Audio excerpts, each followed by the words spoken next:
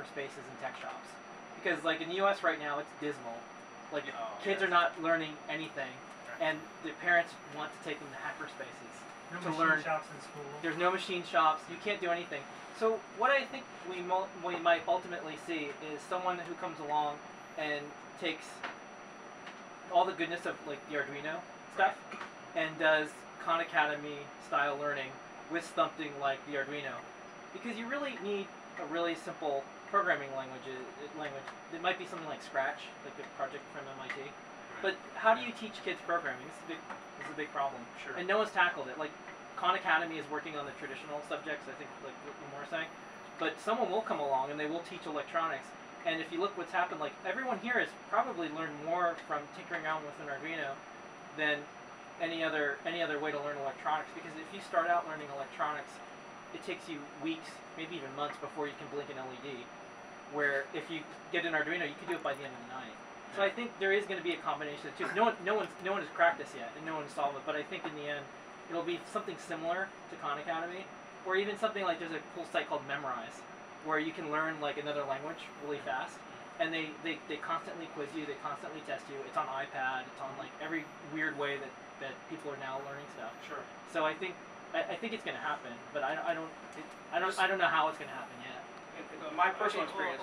I think. Uh, so he has a question too. Well, if I could just say something, I feel like maybe I'm on the other side of this thing because I go to a small private high school in St. Louis, Missouri with a graduating class of about 70, and we have a fairly limited course selection. There's really no way to get hands on with electronics and machine shops and things like that. So this summer I basically had to fly to California to find a place where I could do that, and that's really what I wanted to do for eight weeks. So I took a course at Stanford for college credit, and it was called Interactive Device Design. So I actually got to get hands-on with an Arduino-based chip, and that was the first thing we did. We it was called Blink, and in about uh, we did one class, which was a lecture, and then I had built that, and I wasn't really super excited about programming, but because I was driven, like you were saying, by wanting to do something, I kind of forced myself to learn it. And by the end, I had done a whole MP3 player, and I think that would be so great if there's a way I could do that even earlier, because I think even some of my classmates now we have the motivation but the skill to do it. And so I, I just thought I'd say that, that that's really something that would be so beneficial if you know kids, kids like me could get at that. And th- there's one big Did, challenge. you get that? Did you get that? Yeah, there's one there's, there's one big challenge, and, and this is just kind of a side side note that I always talk about at conferences or, or even in articles now. So documentation still sucks for um, learning. So Instructables was one way to do it. Wikis are another, and um, the folks from iFixit, they're releasing an open standard called OManual, and you'll eventually be able to have a system where you can share step-by-step tutorials. Can you believe, like, we can share almost anything. There's RSS feeds, there's Twitter, there's everything. But if you publish a tutorial online, like, you're stuck. Whatever you put it, like, it's HTML, like, you can't actually transfer it over. It doesn't turn into an iPad. It's very difficult to do. You can do recipes, sort of, but we don't have ways to share step-by-step tutorials, and that's what we need for electronics. There's no, uh, Instructables is really close, but they just got acquired by Autodesk. And so, Hmm. what's oh, next? Oh, that's right. Oh, that's weird. Yeah. What's next? You need to start Wikipedia. What? So you need to start a Wikipedia. Yeah, Well, exactly. actually, yeah. So the iFixit thing is like they're uh, they're they're charging quite a bit of money They will. Yeah. So it's like kind of when I saw that, I'm like, oh, it's like yeah, it's And and Yeah. for us who for a living we basically release tutorials. uh, Um, we have to. We don't publish in a standard format. There's no standard like how to XML. Like there's no there's no way that I can distribute and share these in easy ways. And even Make, because I was on the other side of Make and the publishing side, you use old tools like QuarkXPress. Are they using Code Yeah, like or, or the new yeah. InDesign is another Yeah. one. Oh, InDesign's awesome. And so it's really difficult to, to if you do it in print, it's hard to do it anywhere else. You have to kind of remake your content over and over. So eventually, I think just to get back to that, like it, it- one of the biggest problems with electronics is uh, teaching it and documentation. Yeah. Well, documentation. Yeah, I think uh, it's like, that's historically in technology. I think documentation is a big issue. It's hard. Yeah, it takes longer than actually doing Hmm. engineering.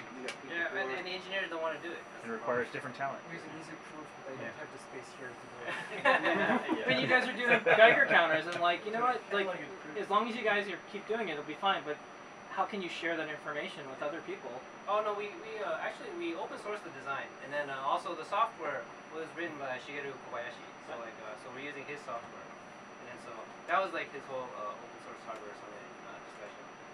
No, but I mean like they're remaking one. Let's say there's another problem somewhere else in the world. Like how do you like what's the step-by-step documentation? Like, Oh yeah, yeah, yeah. Uh, Still- that's that's Yeah. it. Yeah. Still TBD. some complex. We have That's, that's kind of a cool point because I saw they have, I think, is it three prototypes right now of the iPhone Geiger counter Oh, device? dude, we have we have like we have like uh, maybe I think a- around roughly ten versions of different Geiger counters just floating around. Yeah. And so we're we have three of them that are just like kind of deployed, and then so the i the iGeigie, That's it four. the NetRes, and N uh, Geigi, bGeigie, I Geigi, NetRad. And each one has its own generations. yeah, Yeah, yeah, then we yeah. have We, the have like the a bunch of them, classic, just yeah, like whatever communications format you prefer is like you know we have a Geiger counter for you. It's like a, but uh yeah, th- that's the problem is like we so for oh man we're like skipping the, the Safecast part, but for Safecast and uh, it was uh yeah we when when Fukushima was blowing up we didn't have like time to really think about like you know that we were just like alright you know get get get get some Geiger tubes, get a high voltage supply, and let's start making Geiger counters. Because that's how innovation happens, by the way. Yeah. You can tell how, how short our development cycle is. We had the thought about BGE it, we wouldn't have Classic. Thought of There's, there's probably a, In a tie back here to the open source thing because if there's people who really do want to take their iPhones around and get uh, Geiger counter readings, that I, you showed me at lunch today, the iGeigie, which is a whole lot of engineering but a fairly straightforward device actually on a breadboard that Yeah. people might be able to make themselves. And like you said, it multiplies. You know? Totally. makes the, their product in Shihart, AWS Foods makes uh, their product in your company, your place. And is it true? Yes. yes. So, uh, what do you think about open open source hardware and mass production? Uh, the, the, tools or the item itself? How do how do you make cash flow Oh, with um, the, the Um, open source? Oh, just in the background. So she's back. So oh, we talked about it. Yeah. oh, oh, oh, all right. Hey, you don't need me anymore. You know, you know, I'll, I'll, I'll be in the back. Okay. Um, what, so one thing you can do is, um, if you're starting out and you're not sure, you know, you don't, you don't have to open source something. You don't have to. You can say, I will open source it six months from now, because, you know, you, you don't have time to document it, or maybe you're nervous and you're, this is your starting. Um, th- that's fine. You know, nobody is forcing anyone to do open source hardware. Um, but uh, it's it's not um, as big of a problem as you might think because uh, anyone who would be uh, copying your hardware is good enough to look at it and and uh, reverse engineer it from just looking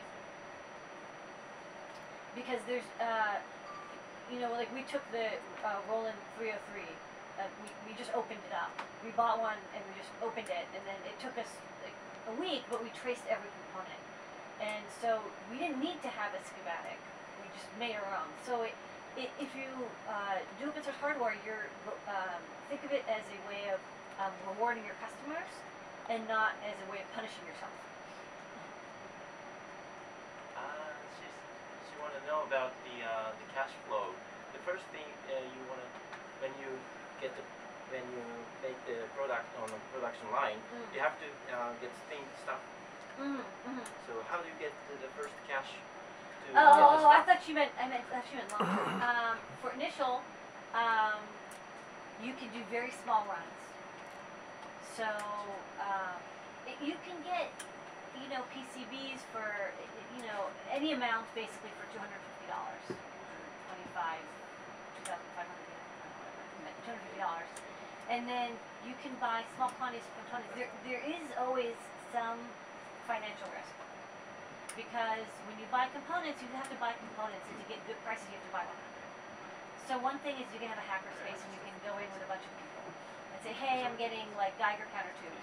Buying one Geiger counter tube costs twenty dollars, but buying 100 Geiger counter tubes, maybe it's five dollars, and then you split it. with like your friends. So that's one like one thing you can do to start. Um, There is one more new thing that's happening in the U.S. right now. I don't know if it's hit Japan. Is there something called Kickstarter? So for cash flow, people yeah. So what people do is yeah. Okay. Yeah. I have the same watch. Yeah. So uh, for cash flow, they'll use Kickstarter. They'll say, "Here's what we want to make, and here how here's how much it costs." And if you want to participate at this level, you get one of them. If you just want to contribute because you like me, you get one of them. Or if you want to do something like that. And so we're starting to see that you can get funding from friends or family or VC or whatever. You can um, invest your own money in a short run, like Lamore said. Chinese. And then this next new thing is Kickstarter, where you can almost pre-sell it to people. And if you have a really good idea, like you know, any of the projects that I usually see that are great um, at Hackerspaces or people send them to make now, it's like uh, people want to buy them. And so Kickstarter allows them to, to participate, even though they'll, you'll never do engineering or anything else. They feel like they could still be part of it. So it's very powerful. So I don't know if there's something like this here, and if there isn't something like this here, someone in this room should go do a Japanese version of Kickstarter. Peter, you want to tell them how safecast.org got started? Yeah, yeah. We, we use Kickstarter for our first batch of Geiger counters uh, to be shipped out. So in Japan, the, the whole idea of Kickstarter is very, very new. Yeah, And we did it for Safecast. We got lots of questions. What is Kickstarter? There was actually lots of interest in that. yeah, But I think that the Japanese sense of risk averseness is very, very strong. yeah. That's why there's also a capital venture. uh, Venture capital in Japan also Yeah, doesn't yeah, exist. yeah. So these type of ideas work very well in the US where people say, oh, I can take a risk or whatever. In Japan, it's like, oh my god, you know, I'm taking a risk. yeah. So there, there is a cultural Actually, oh my god, I'm not taking a risk. Right, we're not taking a risk. right, right. oh my god, I'm going to give money to somebody I don't know. Yeah. So, uh, There's also a cultural um, bias towards just randomly donating money. You know, Yeah. um, when you see people collecting money in front of train stations for previous earthquakes, you don't see a whole lot of people putting money into those boxes. So you see them working really hard for getting small donations. That's just a cultural thing in Japan too. So the idea of Kickstarter is is not only that it's new; it's that it's a very unusual concept. if you, in Japan, Please it's a great forgive me, idea. everybody, you but my just- thumb has gone to sleep and I'm gonna stop shooting. Okay. okay. Uh, so, uh, so if, if I were to add something for photo, photo thing, you, you should just do, uh, yeah, just do do your designs, do small runs, and then see if they sell.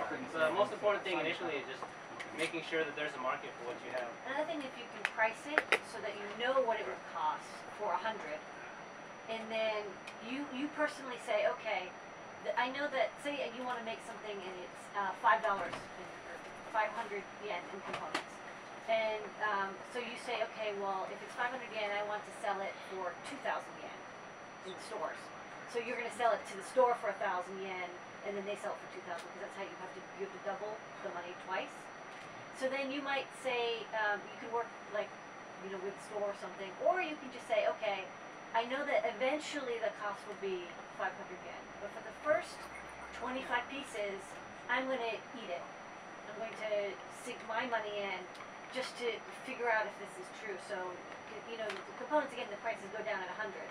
So maybe for the first 10, you just say, okay, I'm going to buy 10 of these with some of my friends, and it's it's twice as much as it should be, but at least they'll know whether it's a good idea, and that way you're not you're not making money, you're not losing money, but at least you're learning whether it's a good idea.